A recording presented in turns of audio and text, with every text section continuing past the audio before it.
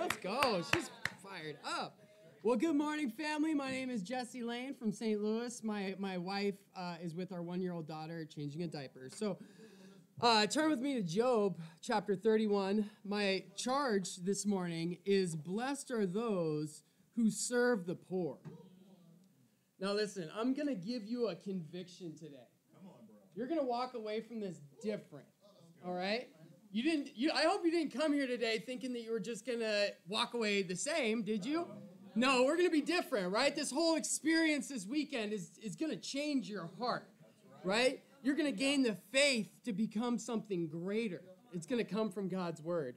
Let's look at something awesome here in Job chapter 31, starting in verse 16. We're going to see the heart of a man who's been broken by God. Okay? Here's a man who's been stripped of everything. If you know the story of Job, I'm sure you do. His health has been taken, his family's been taken, his wealth has been taken. Everything about this man has been stripped to nothing. And we're going to see something that comes out of his heart in his deepest suffering. We're going to see a deep rooted conviction that this man has. Okay? Starting in verse 16, he's, he's talking, he's like crying out. He's saying, If I have denied the desires of the poor, or let the eyes of the widow grow weary. If I had kept my bread to myself, not sharing it with the fatherless, but from my youth I, I reared them as a father would, and from my birth I guided the widow. If I had seen anyone perishing for the lack of clothing, or the needy without garments, and their hearts did not bless me for warming them with the fleece from my sheep, if I had not raised my hand against the fatherless, knowing that I had influence in the court, then let my arm fall from my shoulder, let it be broken off the joint, for I have dreaded destruction from God. For the fear of his splendor, I could not do such things. I feel like I could just read that again because there's so much there. There's so much there. Here's a man who, who is not weeping because he no longer had his health. He wasn't weeping because he no longer had his wealth or his family. He was weeping because he couldn't help anymore. Here's a man who had a deep conviction to serve the widows, to serve the orphans, to serve the people who had no clothing, who were cold. He's like, I gave everything I had. There was no widow in my city that went without clothing. There wasn't an orphan that I didn't treat as my own child, that I didn't go and mentor and treat as if I was a father to them. He had ownership of his city. Not only was Job a man who was very influential with the young men, he was also very influential with the older men, but he had this heart to serve the community. Man, not only was he an incredible husband to his wife, he had all these children, all these servants, all these responsibilities, right? He's the wealthiest man in the East, and yet he had this heart to serve the poor. What's awesome about that? It's that it's the heart of God. God has this deep, deep conviction about orphans and widows. It's a godly thing. And so, something I want to give you today is three attributes that describe this heart. In Galatians chapter 2, you don't have to turn there, just write it down. Galatians chapter 2 and verse 10. The apostles are, are talking to Paul as he's about to go on his missionary journey. And they have this request. In verse 10, they say, All that was asked. You guys with me here? Galatians chapter 2, verse 10. It says, All they asked, the apostles, right? All the apostles asked of Paul. This is kind of intense. All the apostles asked of Paul, they said, All they asked was that we should continue to remember the poor. The very thing that I had been eager to do all along. What's the first attribute? What's the first part of the heart that it takes? Eagerness. We've got to be eager to serve the poor. I hope you're not in mercy because you feel dragged into it, I hope you're not in mercy because you feel like, oh, nobody else is going to do it. I guess I'll wear the shirt and put something together. Let me be honest. I love serving, but I was a little weary when somebody asked me to give to Mercy and be the leader because I'm like, dang, this is going to take something. It's going to cost. It's going to cost me energy. It's going to cost me time. It's going to cost me focus. It's a responsibility. Matter of fact, I'm going to be called, I'm called to do it with excellence. Like, Oh, oh man, God, okay, I'll do it. You know, like that, you know, you gotta get your heart behind it. But then the reality is that, man, I had to, I had to humble myself and realize, wait a second. Nobody takes this upon themselves. They're called to it. Right? And that's the second attribute. In Hebrews chapter 5, verse 4, it says, No one takes this honor on, him, on themselves. They receive it when they're called by God, just as Aaron was. Family, you've got to have ownership that God has given you a tremendous responsibility to serve. But not only to serve, but to learn something about Him and to teach everyone in your church something about God that they didn't know about. God's giving you the opportunity to learn something special about Himself that is so near and dear to Him. And it's this love for the orphans and the widows. The third attribute so the first attribute is eagerness, Galatians 2:10. The second attribute is identity and ownership, that we've been called by God, Hebrews 5. And the third attribute is 1 Corinthians 13 in verse 3. Paul says, If I give all that I possess to the poor, I even give over my body to hardship, right? He's like sacrificing. He's like, even if I pos- if I give everything I possess to the poor, I give my body over to hardship so that I can boast, but I don't have love, man, I gained nothing. Family, you can't like be like, all right, I'm gonna sacrifice. I'm gonna give my time, gonna give my possessions, give everything I've got, and not have love. You didn't do it the way God wanted you to do it. Family, we've got to have a heart of love when we serve. And so, the three attributes of the heart that God calls us to have when we serve the poor is we first of all have to have an eagerness. We have to have an ownership of it that God's given us this opportunity. And then we've got to truly love the people that we serve. And what does God say will happen? You're going to be blessed. You're going to be blessed, man. When you serve people, when you serve people who have, man, I, I got stories for days. They only gave us seven minutes, all right? I'm a preacher. I'll be up here all day, all right? Y'all better watch out. But I got stories for days. Like if you've ever spent any time in a major city downtown, you've got stories too. Homeless people, broken people, drugged out people, people who genuinely need our help. And you have the opportunity to give to them. You've been given the opportunity by God to make a difference in their life and in the community. I just want to urge you take that passage from Job and make it your own.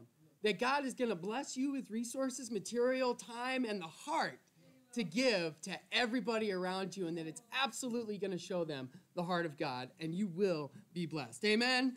To God be all the glory. So we're excited for um, for us to, to get some wisdom from all these different sermonettes, so that every Merciful Light chapter can be just excited and ready to go in 2024. The first one we're going to start off with for sure is my, my wife, as my wife introduced.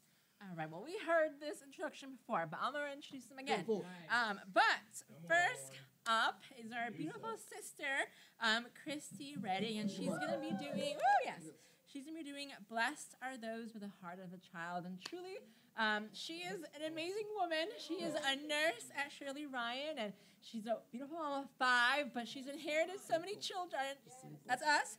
Um, but I'm excited just to hear her heart. She truly has a heart for Mercy. Mercy's been just going crazy because of her recently. So just thank you so much for your heart.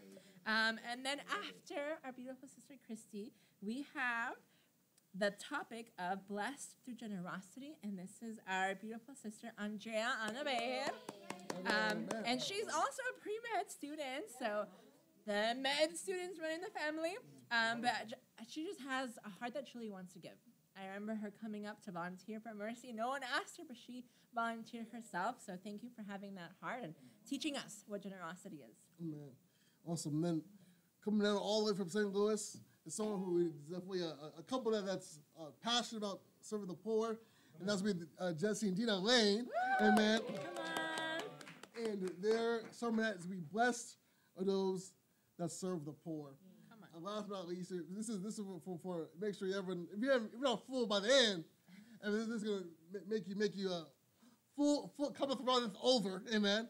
And because it's gonna be people they definitely care about um, anyone, um, disciple, friend, family, everyone. It's just a heart for people in general, and that is definitely Ryan and Queer Mason, and their amazing sermon that's gonna be blessed are those that care. So what am- amply every person assigns is someone that we can look um, up to, learn from, and amen, take those traits that they have, take the lessons that they give us, and apply it in our lives in 2024.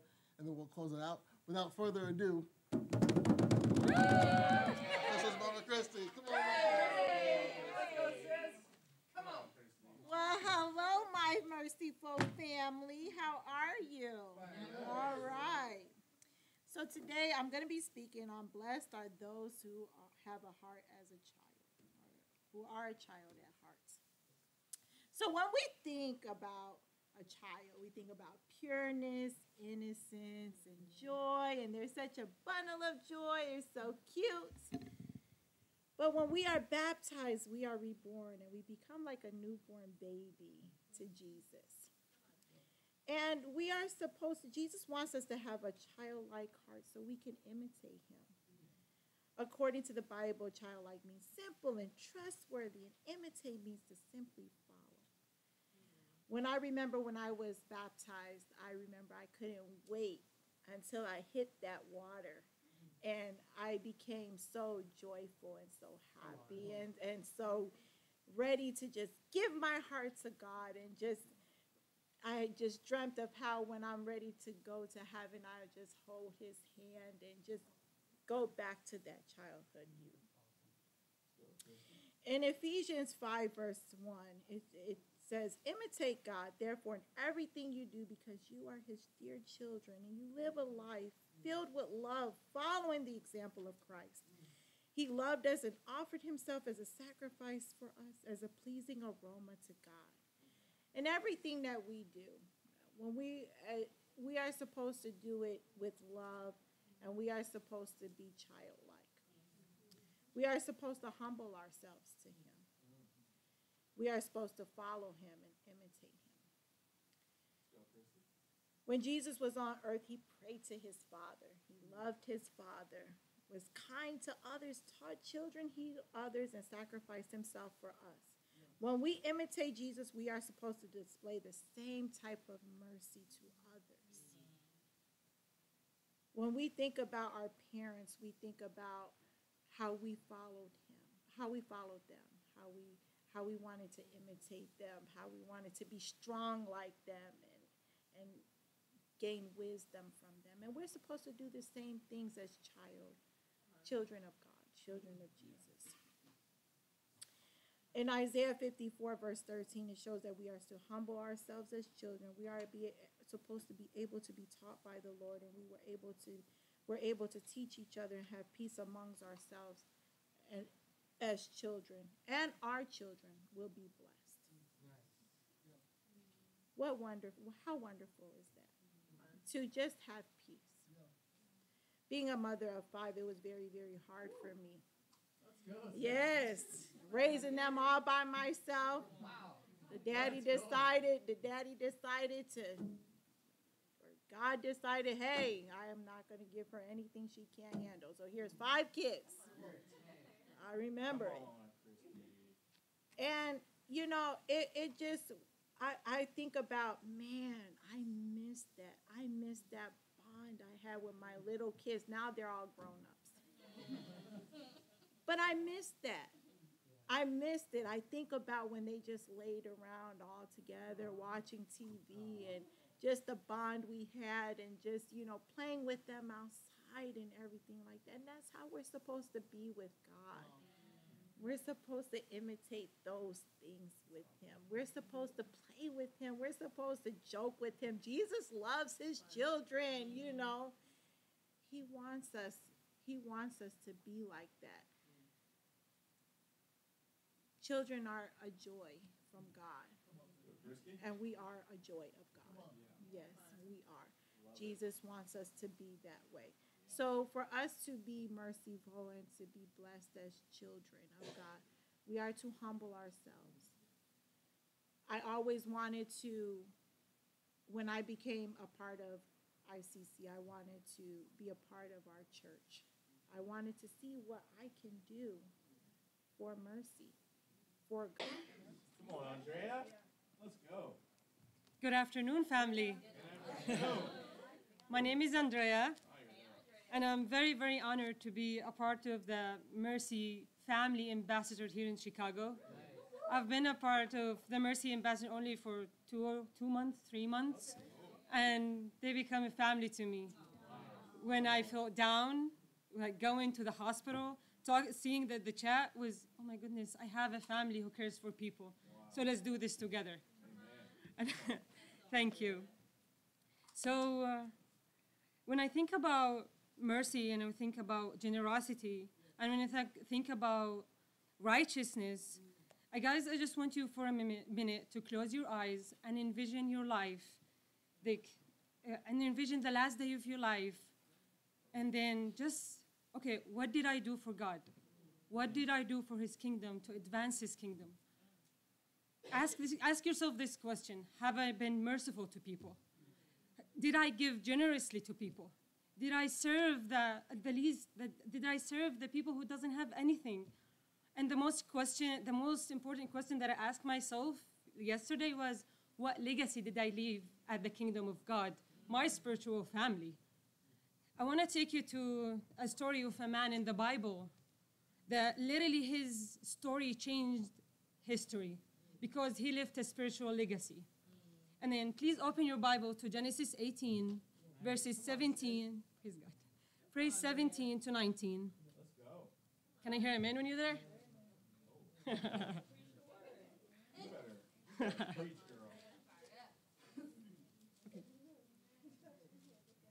Then the Lord said, Shall I hide from Abraham what I'm about to do?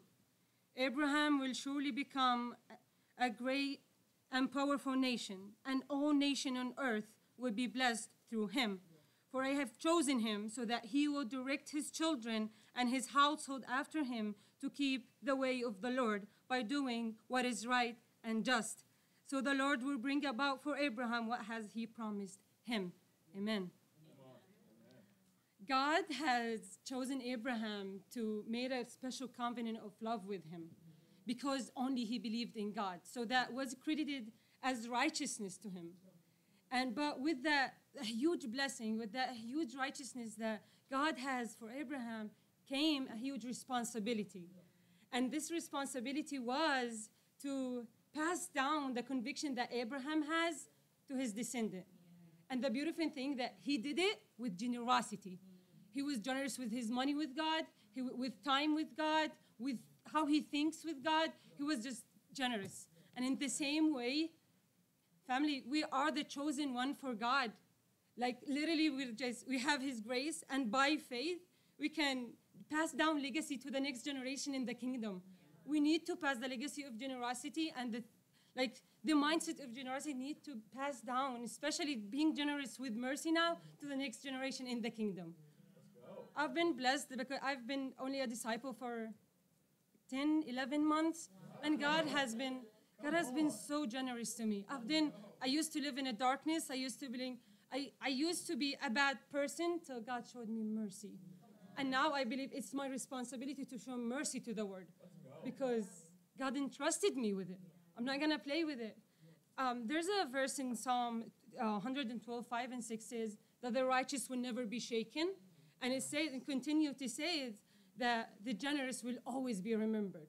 And in that Bible verse, it showed me that the generous and the and the righteous are one in God's eyes. That's so crazy. And this, I'm all, all the whole days I'm challenging myself to be more generous in whatever I can, whatever I little have. I know God, I'm only like, amen. It like it ten months spiritual, but God, please, I love you. Let's do something together. Guide me, God. I need you. Please have mercy on me so I can be merciful to others. The, the tricky thing with generosity, although, that when you pray for generosity, it's like God really loves to test us on it. He's do- he doesn't play with it because God knows where our heart, where our treasure is. Our heart is gonna follow. If my heart is merciful to the church, to His kingdom, oh, God is gonna be so happy with it. He's gonna look at me. You're a noble daughter. That's what I can work on. Praise God. And then, um, excuse me. Amen. Praise God. You got us fired up. Let's go. There's a Abraham. There's a God tested Abraham with his generosity.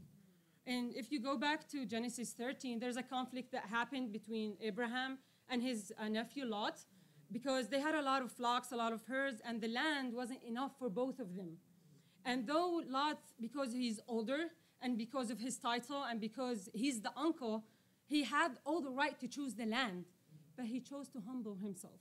And he chose to, to, give, to, to give Lot the decision to choose the land that he, whatever he wanted. Amen. So he was merciful. He was humble. He was so generous in his giving because he knew that the bless that what gave him um, like what gave him meaning to his life wasn't the blessing from God, was the promise that God gave him that he's gonna be a great nation. So he stand firm in his promise of God. So he kept going in generosity. He kept going and giving, especially nephew was his family. That's all he has got. So he, he didn't hold back anything from him. No, he gave it all because he knew if God gave it, God can take and he's gonna multiply it. Amen.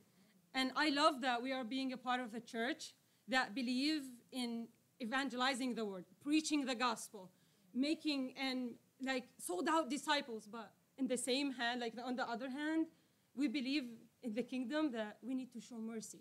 We need to show compassion because Jesus, when he was on earth in his ministry, he did both together. He was preaching and healing. He was preaching and feeding. He was he was preaching and doing miraculous stuff. He working hand in hand. But the keys for those two gifts, uh, Peter says that preaching is a gift and serving is a gift. The key to unlock these two things is being generous. We can and we receive the spirit of generosity at the day of baptism. Don't let the word just push it down. Let's keep going in being generous, please. Um, there's one thing, uh, there's a challenge that I actually want to give to you. Please just think about how God comforted you and go comfort other people. And please as God bless you, even if it's a small thing, because because if we just numbered the blessings, and the smallest thing, I have a breath this morning. Literally, this is the most beautiful. I can take a breath without feeling pain. This is mercy. This is a blessing. So let's count them and let's show comfort and let's let's give a blessing to other people as God has shown us these blessings. And then I want to leave you with a challenge. Please think about what legacy do you want to leave behind. Is it a legacy of spiritual generosity or just what I'm doing here? Why am I being a disciple? I want to work with God in hand in hand to advance the kingdom. Early for some of you guys, is it? Are we fired up today?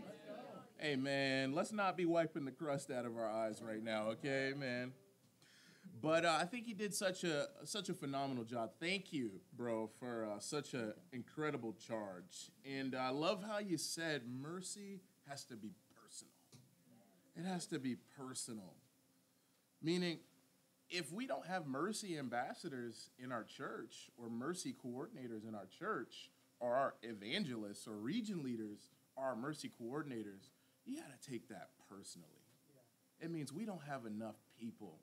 We don't have enough servants. You know, and if mercy is personal, I love how he said you'll have personal projects.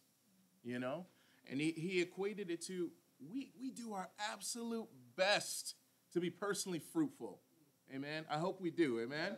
We do our best to be fruitful in here. Amen.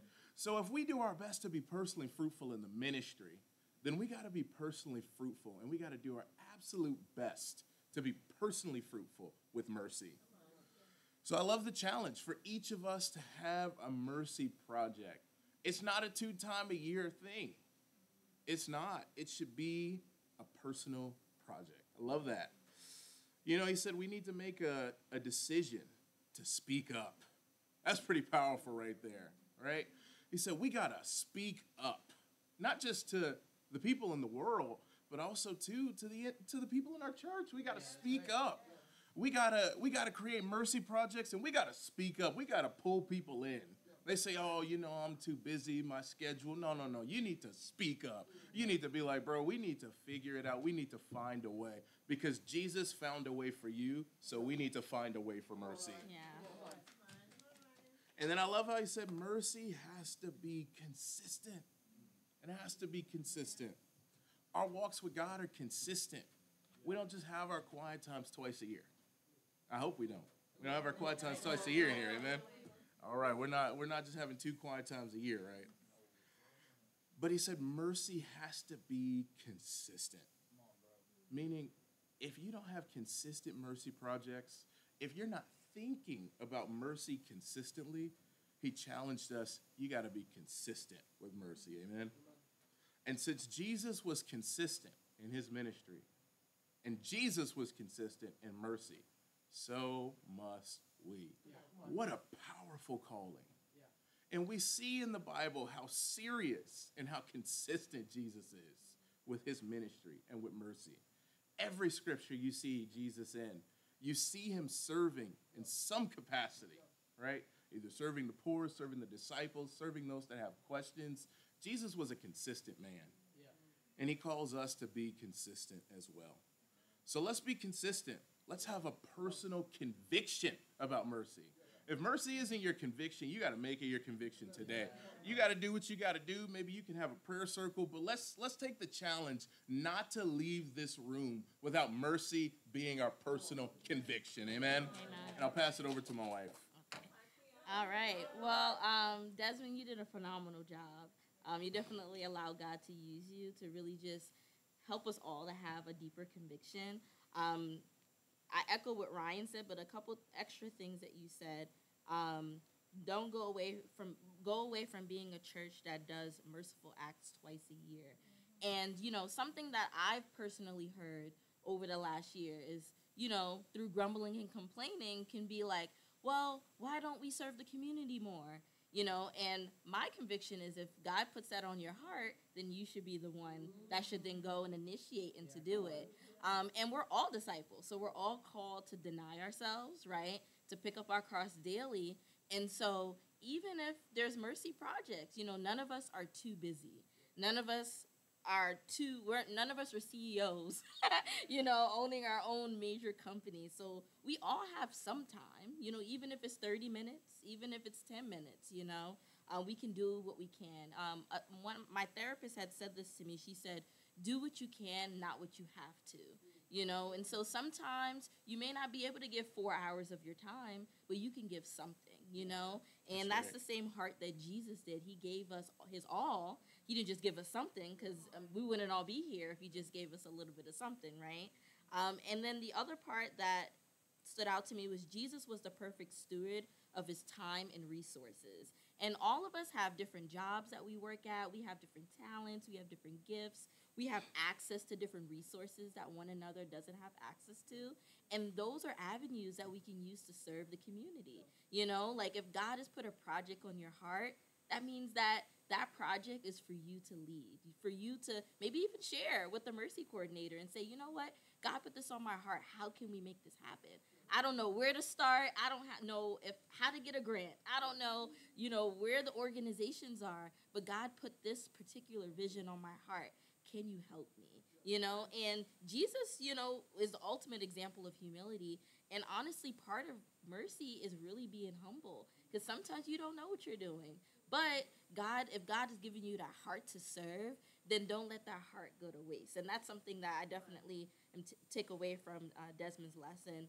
And uh, something else that I thought was really powerful is finding an activity you can do every month with your Bible talk. So, one thing, a practical that I would love to share is sometimes you can look at what other organizations are doing and just join what they're doing, mm-hmm. you know, and that's a good way to get your feet wet and just be able to build that connection in the community. and then be able to kind of be like, oh wow, they did that. We could totally do that, and then use that as groundwork to be able to then propel you forward to do something amazing for Mercy. So thank you, Desmond, so much just for giving us that that charge. Thank you. Amen. So let's have compassion in action. Amen. And as we take our fellowship break, because we're going to take a fellowship break after this, let's fellowship with each other. Let's share about what we learned, but also, too, let's get some ideas cooking for what you want to take back to your church. Amen. This isn't just a nice session for the workshop. This is a charge for us to take back to our churches. Amen. So let's really get those ideas cooking and just start with what you're passionate about. Like Aquia said, like if you have a passion for your community or you have a passion, something you're passionate about, just start there. And I guarantee you that if you pray about that, God will open a door for you. So with that, let's take a five minute fellowship break.